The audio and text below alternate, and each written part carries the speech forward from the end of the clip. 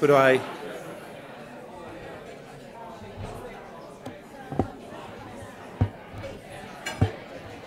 Could I get your attention? Why is this not working? Could I call up my assistant? um, thank you. Uh, I hope you enjoyed breakfast. Um, uh, as I said, Di uh, has joined us. Um, and in a moment, I'll introduce uh, Andrea Walters, who's the uh, events manager at um, Endeavour Foundation, has done a fabulous job putting this speaker series together. Um, there's another one in June, and we hope to have further speakers um, as the years go by. And this, whilst this is an Endeavour Foundation initiative, it's, it's actually for the disability sector. Because uh, when I joined um, uh, Endeavour Foundation three years ago, um, I began to see that people with disability are some of the most marginalised, some of the uh, most impoverished uh, members of our society in this, in this very rich country of ours. Um, we hear uh, lots of debate about mining taxes and carbon taxes, and for goodness sake, this week we've been uh, hearing about what choice of nannies you might get uh, under a, a, future government. Uh, all the time, the uh, Productivity Commission report and a, and a recent report by PricewaterhouseCoopers has rated people with a disability in this country as the poorest in the OECD. So out of 27 countries, uh, we're 27th.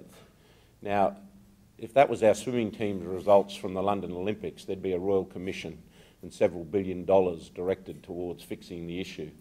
And yet we still tolerate this. So the, the speaker series is about uh, addressing some of the more serious structural and underpinning problems that occur uh, in our society and to, and to um, engage the community in this debate and, and hopefully to inform you.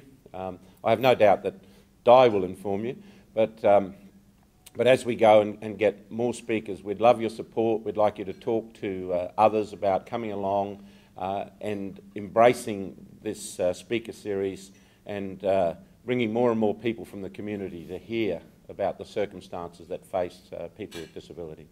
Uh, as I said earlier, you didn't come here this morning to listen to me, so I'll stop now.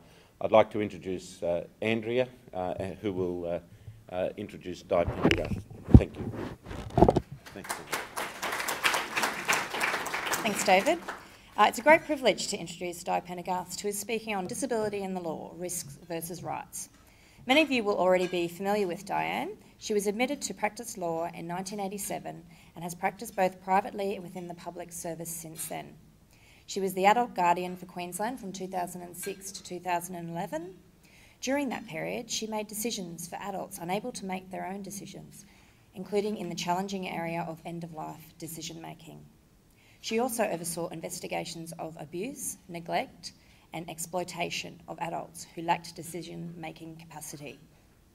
Nowadays, she practices as a barrister at the private bar, is a sessional member of the Queensland Civil and Administrative Tribunal, and is a nationally accredited mediator.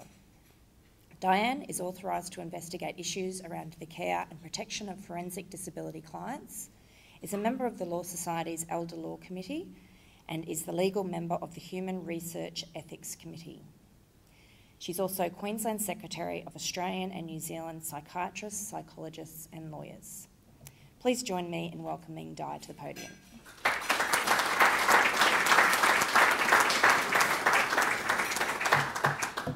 I've also recently had an encounter of the worst kind with the banana bus going the wrong way on the M1.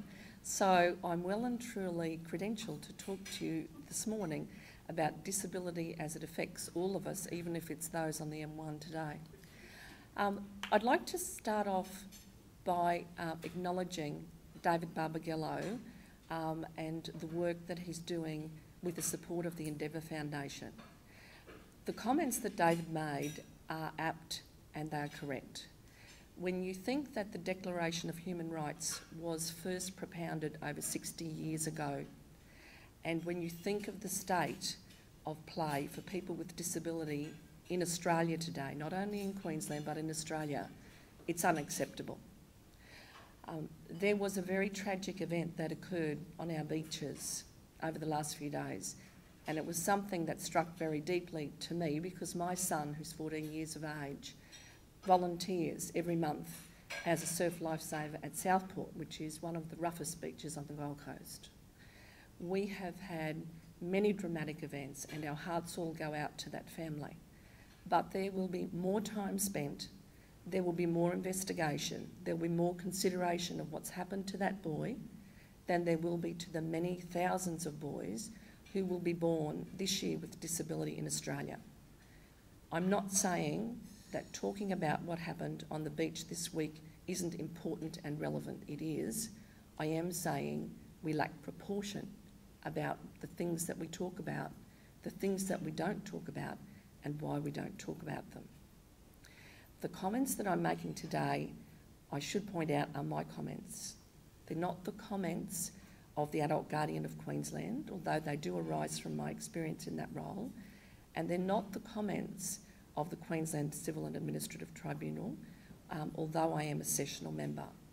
They really arise from the five years that I spent as the Adult Guardian and the subsequent time that I've had to consider that experience and to think about what happens to people who confront the legal system in Queensland. I've written a great speech. It's 19 pages long. I am not going to read it to you. In fact, I'm probably not going to talk to a lot of it. I hope it's a valuable resource and I will give it to the Endeavour Foundation to put on their website and make available to you. Um, but we are now living in a can do state where I think that we need to be more than ever thinking about the global state of play in terms of human rights, but more particularly in the way we talk about it, talking about what actually happens and what we can actually do. One of the main problems that I find with human rights is that human rights are aspirational. They're talking about a life that I never saw any of the people that I worked with live. They're talking about dreams. And dreams are great because dreams tell us what we should be aiming for. But many people espouse human rights without actually knowing what the value of the conversation is. And what it does, in my experience, to decision makers is it turns them off. People in Down Street, George Street, don't want to know about um, human rights conventions. They don't want to know about what the articles say. They put it in documents, but it isn't something that they actually want to know about. What they want to know about is what you want to do about it and what it's going to cost.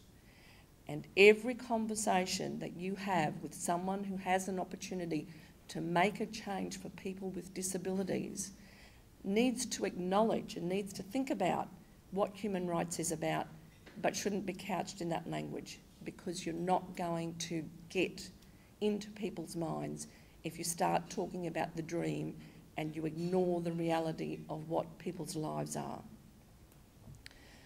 One of the great experiences that I've had since I left the role of adult guardian is that I've appeared in a four days trial in the Children's Court. Um, I had the great privilege of being appointed for a mother who has an intellectual disability, whose child was removed from her care, and the child was removed because the child had attained 12 years of age. The department was contacted because the mother's sister was concerned that the child had emotionally outgrown her mother. Of course, it didn't help that the sister was offering the child a pony, a life on acreage, and various other incentives to move from mother's care. And the sister didn't want to actually confront her sister about her concerns about the care of the child. She wanted to use the department and the leverage of the department to get what she wanted, and what she wanted was the child to live with her. The matter that the matter went to a four-day trial is extraordinary because generally that doesn't happen in Queensland. If it went to a one-day trial, it would again be outstanding. In Queensland, people with disability lose their children every day and they lose them in circumstances where generally they don't have access to legal representation And generally, let's be honest about it, where they do have access to legal representation, the representation isn't what it should be.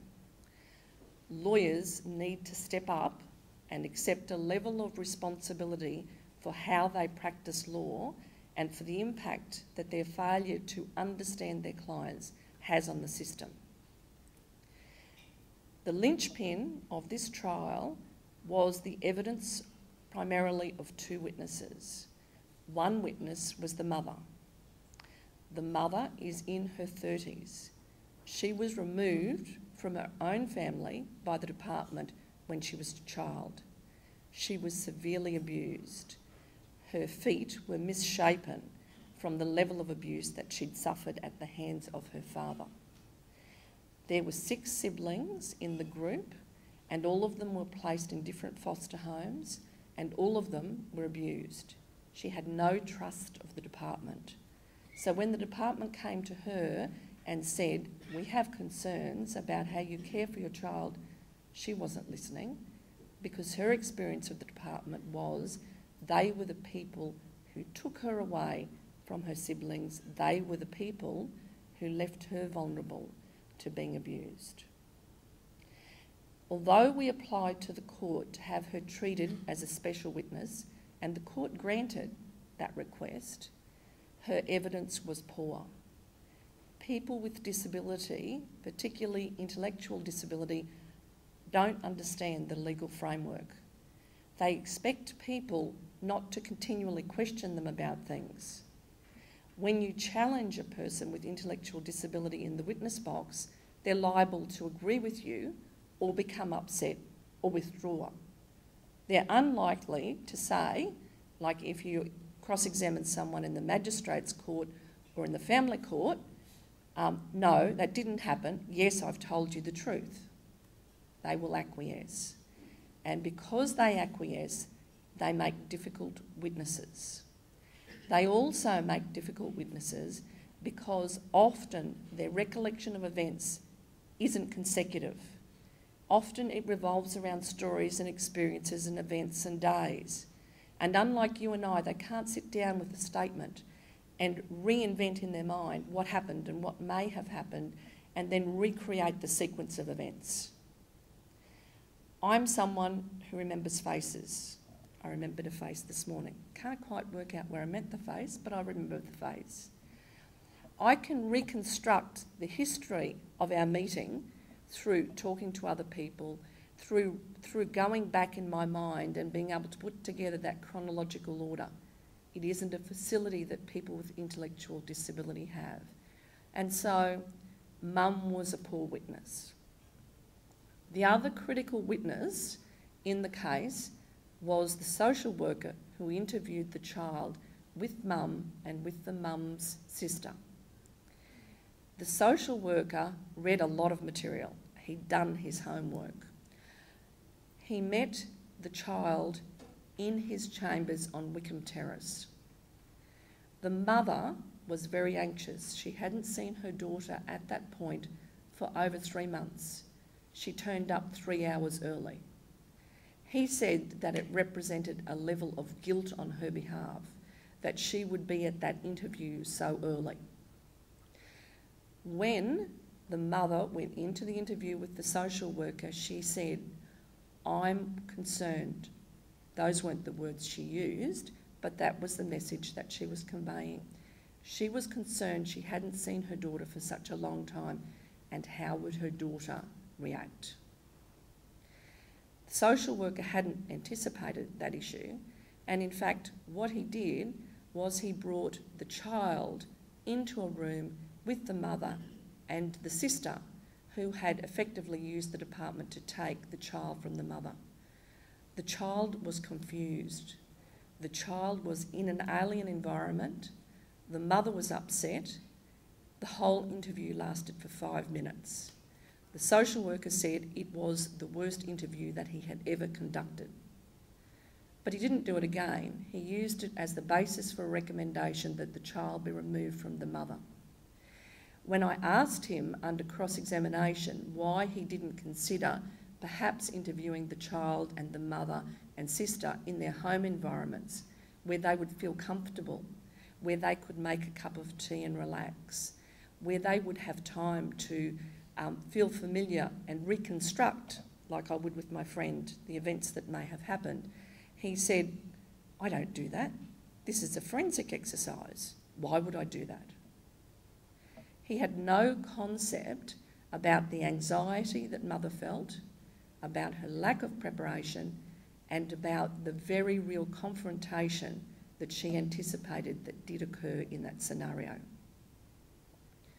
Ultimately, we were successful, and ultimately, the magistrate only ordered a short term order in the case of that mother. But my experience as the adult guardian is that it is a very regular experience for mothers to find themselves pregnant. Like all of us, they want to have children. Like all of us, they want to belong. Like all of us, they want to have a loving sexual relationship. When they get pregnant, it is almost inevitable that the department will remove the child at the time of birth. And there will be a fight to return the child to the mother so that some assessment can occur of how the mother is able to parent that child, and so some consideration of whether or not there is a capacity to be able to support the mother and the child is available.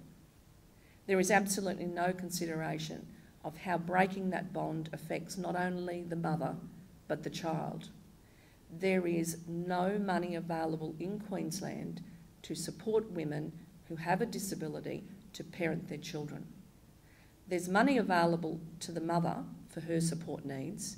There's money available to the child if the child goes into care, but there is no money to support that relationship in that scenario.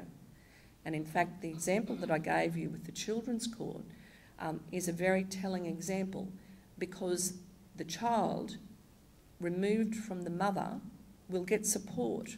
The sister will get support to care for her niece that money and support is not available to the mother to care for her own child in her own home.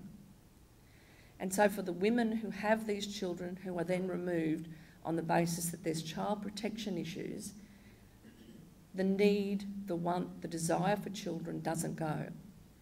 And they go and get pregnant again, and the whole scenario is repeated again.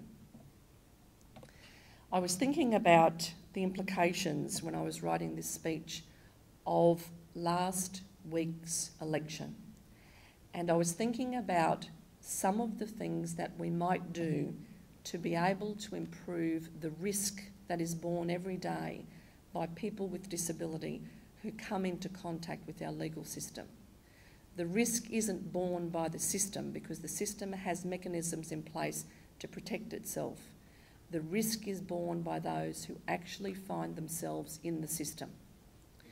If they are going into the criminal justice system, what you will generally find is that when interviewed by the police, a person with intellectual disability will acquiesce and agree with all of the things put to them. By the time the interview is concluded, the possibility of a defence is almost always gone. Because regardless of where that person was or what they were doing or what their motivation was, in a situation where they're placed in an interview with a person of authority and questioned without proper support, they will acquiesce and agree. We have well taught people in our community who have intellectual disability that it is better to acquiesce and agree with authority than it is to oppose them. So by the time the interview is over, generally the opportunity to do anything about those charges is gone. But when they go to the local magistrates court, which are among the busiest courts in our system, with magistrates who have lists which are very long, duty lawyers who have clients who are numerous and resources who are poor, the chances that they will actually be able to speak to anyone who can give them advice about what they can do in that scenario is very remote.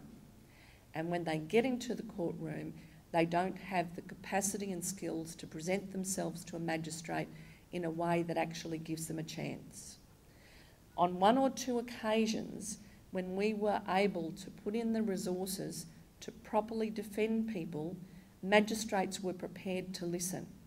when there is evidence before magistrates about intellectual disability and its impact, about what it means to be part of the other and not part of the mainstream, about the power differential and how it means you can't speak out, not only because you can't think of the need to speak out, but because you can't understand the context in which you're required to speak out. Magistrates are, in my experience, prepared to listen. So while there are many calls for judicial education that I support, I think that we need to look closer at home. And where I would like to look is at my fellow lawyers. When I did the bar practice course last uh, May and June, I realised a few things. Um, first of all, I realised that I was much older than I actually anticipated. Um, and uh, doing late night study was not something that I easily recovered from. So I did the eight weeks of the bar practice course and then went to bed for two weeks to recover after it. So that was one of my um, discoveries. Another of my discoveries was that I'd actually forgotten more law than I think I ever knew. Um, things seem to have moved on incredibly, and it was a great privilege to be able to meet with some of the leading senior counsel in our state and judges and to talk to them about how they think about things, not about what the criminal code says or what the Family Law Act says, but how do you think through problems and how do you think through decisions? And that was an incredible privilege. The other thing that I learnt is that lawyers don't really have the focus on justice that they should have. Now, I can say that because I'm a lawyer and I'm saying it about my colleagues. I notice I'm not saying it at the Bar Association or the Law Society, however. Um, in the whole of the bar practice course, there was one session on disability. If attendance at that session had not been compulsory, out of the group of 25, there would have been about three people there. Most people attended under resentment. Most people did not listen and most people did not learn. Every year that that course has been practiced, Dan O'Gorman has gone and he has spent his time talking to students about disability and the law, about discrimination and the law, about how to give clients who have those sorts of problems in their lives a, a fair chance. But I've got to say, it's a message that's very hard to deliver to an audience who, frankly, aren't focused at that time on justice. It is very difficult in the legal profession, the private legal profession, when lawyers are so highly leveraged with high rents, high staffs, high overheads, to be able to give the time and attention to clients who don't attract the funding that they need to meet their basic daily expenses. And I can tell you that every day that I do a legal aid matter is a day that costs me money. It's not that I resent doing it, I enjoy doing it. It is some of the best law that I practice. But the reality is that the small amount of money that legal aid is able to fund means that lawyers who do that work do it out of their own pocket. And it's not something that is generally understood or recognised in the community. The perception of lawyers as money grabbing denies the fundamental reality that while a few make a lot, a lot make little, and the overheads of law are highly expensive. So let's stop bleating for a little bit and think about how we can shift some of the risks that people with disability suffer when they come into confrontation with our legal system. You can have dreams and you can have long lists, but what tends to happen with dreams and long lists is nothing gets done. My dream for this year was to lose 30 kilos, and I can assure you that I've probably put on another five, and the 30 is still well in place. So you need to have realistic goals if you're going to change anything, and that includes the legal system. So in this can-do state, there are basically four things that I think, if they were addressed, would make a massive difference to the experience of people with disability in Queensland when they come into contact with the legal system. It won't solve everything, but it will start to make a massive change. And frankly, if every year the government realistically looked at four issues and addressed them, we would have massive change in a very short time. The problem with government is that government generally is not prepared to address issues unless there is a swell of attention. The recommendations from the Law Reform Commission into the guardianship legislation have sat with the Law Reform Commission now for over two years. Lots of words written, lots of documents, but nothing has done. And the National Disability Insurance Scheme, which yesterday I was very pleased to hear our Treasurer say would definitely be going ahead even in the face of a tough budget, only happened because parents, families, and friends got out literally to their politicians and started talking about the economic impact that this was having on them and on Australians. So let's talk about the four things on my wish list. Your list, wish list might be different, and I'm happy to have coffee with you when I haven't had a tangle with a bus and talk about why I see my wish list as being important. The first thing I'd like to see is I'd like to stop uh, the child protection merry-go-round. Children being born and taken from their mothers so that their mothers can repeat the experience again and have multiple children to multiple fathers because of their need to be loved um, as a human being. I think one of the easiest ways to address this issue would be to provide funding to support mothers to learn to mother. In that case that I was talking about, the mother who has intellectual disability in a system where she's been before the courts for two years is yet to be assessed for her level of intellectual disability and her capacity to, to learn. Not only do we need to put in place the supports so that these mothers will become part of their children's lives, but we need to be realistic. Some mothers will never make it no matter what we do, but they're still important to their children's lives and their children are still important to them. Why don't we have a system in Queensland that allows co parenting, where a person from outside that parent can co parent with the parent with disability? And perhaps it will mean that they share visitation, or perhaps it will mean that they live in a special housing arrangement. But ultimately, we will grow children who know their mothers. Ultimately, I think we will grow mothers who know their children and who have richer lives and who are less likely to do it again because of that need. I think that there is absolutely no basis upon which we can argue in Queensland that if you commit a serious indictable offence like murder and manslaughter, you can get a defence under the Mental Health Act on the basis that you are unfit for trial because you don't understand the nature and effect of your decisions and because you have a mental illness or natural mental infirmity. The Court of Criminal Appeal has commented on this. The government has done nothing.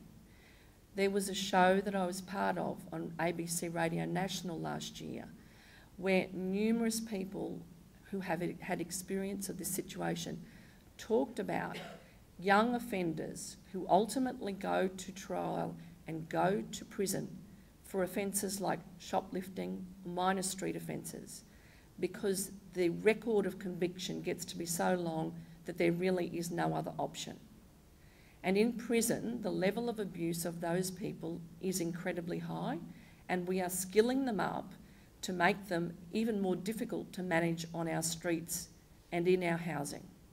We need to accept that there is no reason why, if someone murders and they don't have the capacity to understand what they're doing and why at that time, someone who has an intellectual disability and challenging behaviour and continuously shoplifts in Toowoomba because they don't understand and have no capacity to understand that what they're doing is wrong should not be convicted of that offence and should not be placed in prison for that offence, should not be supported by us in prison at that offence, should not not get rehabilitation and then should be placed back out on our streets to do it all again. It just beggars belief that it is a situation that is unaddressed by government at a point in time where even the Court of Criminal Appeal has commented about this issue. The third thing on my wish, wish list is to close the biggest institution for people with intellectual disability and mental health in Queensland. And it's not the Park Centre for, for Mental Health, and it's not Basil Stafford. The biggest place where people with intellectual disability are warehoused in Queensland is in the prison. They end up there through misadventure, through trying to fit in, through doing stupid things, through having a life of disadvantage. They end up in a system where they are re educated in a way that simply makes them more intolerable to our society, more intolerable in housing, and more difficult to support. There is really no reason why we should continue to accept that people are placed in prison as opposed to alternatives. And at the end of serving a prison term in Queensland, if you are regarded as being unsafe on the streets, you won't get probation. Disability services will not provide you with support until you get probation. You will not qualify for bail if you're facing a charge. And again, disability services will not provide you with support to establish the necessary credentials that you need to be bailed out. Jail is expensive, it doesn't work. We need to accept that and stop putting people away and start addressing the issues.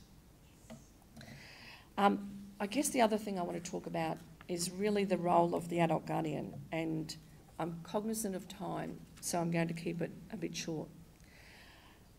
The role of the adult guardian is to stop abuse, neglect, and exploitation. For five years, I did that, and by any standard, you would have to say that I failed. Abuse, neglect, and exploitation happens to people with intellectual disability in Queensland every day. There is no doubt about that. It happens in homes where there are no rules, no oversight, little support. It happens in accommodation where people are co tenanted inappropriately. It happens in services where people are unwilling to put their hands up and say something went wrong. Um, it happens because people are unprepared to whistleblow. It happens because we redefine people's inappropriate behaviour as challenging behaviour. We try to work with services instead of saying we need to stop this. And one of the problems, I think, is with the language.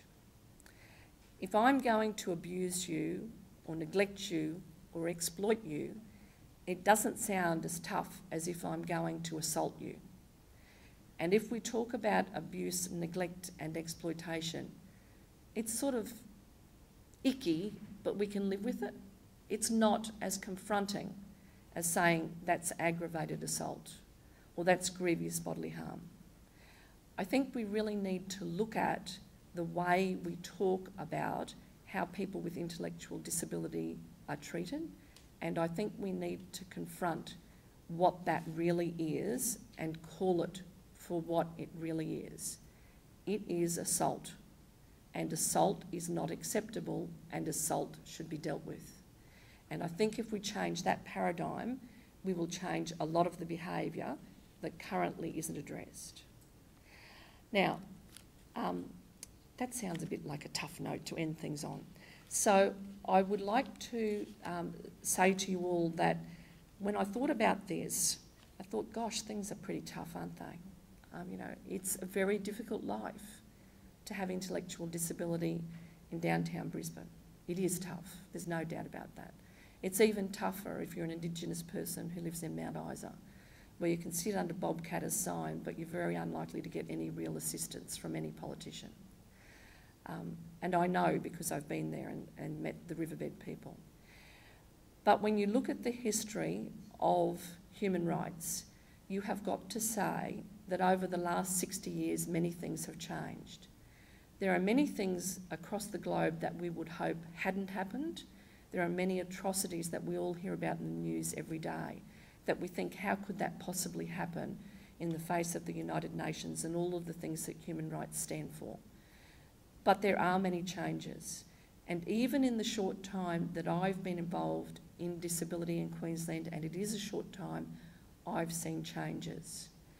The biggest change that I've seen is the conversation. People are talking about these issues. I wouldn't have been invited to have this conversation with you six years ago. And today, you're here and I'm here having this conversation. Human rights doesn't change overnight.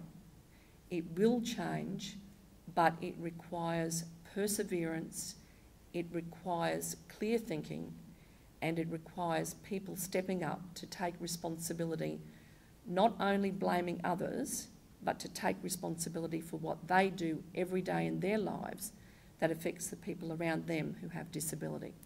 Thank you very much.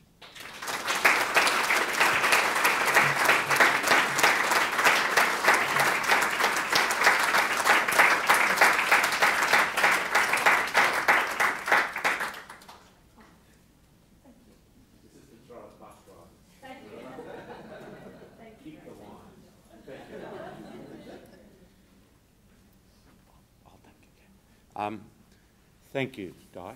Thank you very much. That was that was spectacular. I'm looking forward to reading uh, reading your speech, the 19-page version. Um, it was remiss of me earlier not to recognise the chairman of Endeavour Foundation, especially when my bonus is due in a few weeks, um, Grant Murdoch, and and uh, I, I mention him at a number of. Uh, for a number of reasons. We're here at Customs House, Uni University of Queensland downtown. We signed a memorandum of understanding with uh, the University of Queensland last week, I think it was. And, uh, and that's about um, uh, a research collaboration. It's about the fact that we now provide a accredited uh, certificate two in literacy and technology uh, for people uh, uh, with intellectual disability. Um, it's about the fact that we're collaborating with their MBA program to assist us to work with Endeavour Industries to provide more meaningful work for a number of our uh, employees who have a disability. Um, many of you wouldn't be aware that Endeavour Foundation is the largest employer of people with a disability in Australia, uh, over 1,800 people. Um, it, uh, uh, having said all that, um, and, and, we've got a number of other initiatives like uh, No More Than Four housing uh, initiative, which means we're reducing a lot of our nine bed and 20 bed, and there's no other word for it, institutions uh, down to, to four bed. And I have to say, um, in 30 years' time, I think they'll be looked upon as institutions as well. But you have to, you have to start somewhere and you have to improve things, and that's what we're attempting to do. So many of the challenges that, that Di spoke of uh, are, are, very real ones for the Endeavour Foundation, and we're embracing those and, uh, and uh, hopefully uh, improving the lot of people with disability. The other thing I want to do was, was to thank uh, my staff for putting this on. I, am just going to uh, ad hoc invite uh, Mark uh, Reimers, who's, who's, the director of our um, community and advocacy support program at Endeavour Foundation, because he's going to quickly talk about a program that might uh, might surprise Di that we're about to uh, em embark on with the uh, Department of Justice and Attorney Generals, and I, I won't steal his thunder. I'll let him talk. But I also wanted to acknowledge um, the interpreters, the people who come up here and just do the most fabulous job. And I always just think they're, they're just brilliant. And, uh, and, uh, and, and, I'm, I'm constantly amazed because, you know, there's a time delay from what I say and how they sign and how, you know, uh, they're usually women because men couldn't do this. Um, you know, and it's just, what did you say then? That's the other problem I have. I'm not overly trustful, you know. Um, but I'll stop. Thank you again, and I'll hand over to Mark. And, and please, uh, I won't forget Andrea. The next, uh, uh, did I bring my glasses? I did. The next speaker series is uh, in June, on the 8th of June. It's here again. Uh, the speaker is Professor Nick Lennox, and um, he, uh, I'm, not, I'm not sure I should read out this, but his topic is love in the time of randomised controlled trials and beyond. So we, we might get some drugs or something, I'm not sure. Um, but Nick's a fabulous speaker and he, he works at the uh, Queensland Centre for um, Adult Intellectual Disability and uh, uh, does some amazing work with people. But I'll just hand over to Mark. Uh, after Mark finishes, um, I know everyone's busy and you'll want to get away. Thank you. Thanks. Thank you. I'm probably stealing David's thunder for a bit later in the year, but um, we've been working with the Department of Justice and the Attorney General to do something about the lack of awareness of disability issues by staff in that department. And within Endeavour, we've got a program called Walk a Mile in My Shoes, which is a program that staff who don't have experience in disability services get to work. Um, they get to do a bit of training and then to work alongside um, people with disabilities, either in a lifestyle and learning centre or in one of the um, Australian disability enterprises, on a work site for a day to experience what it is. Staff within Endeavour find it an amazing experience that um, raises their awareness about people with disability and the need for the sorts of supports that we have. So we were a bit lucky in that the, um, the state government 10-year plan was rolled out and disability awareness training is a part of that for every government department. And we've finished negotiating with Department of Justice and Attorney General for Walk Mile to be rolled out in DJAG, to be rolled out across the state. Um, the, there's a business services um, group within that uh, who are going to start that rollout. But our aim is that everybody who works in DJAG in a frontline role where they have exposure to people with disabilities, so in the courts, in the courthouses, frontline staff will do walk a mile, get some exposure. We know that it's not going to be enough, but at least might highlight people's awareness to what they don't know about disability and might give them some encouragement to further explore. So I just wanted to let you know that. Thanks for coming this morning and thank you.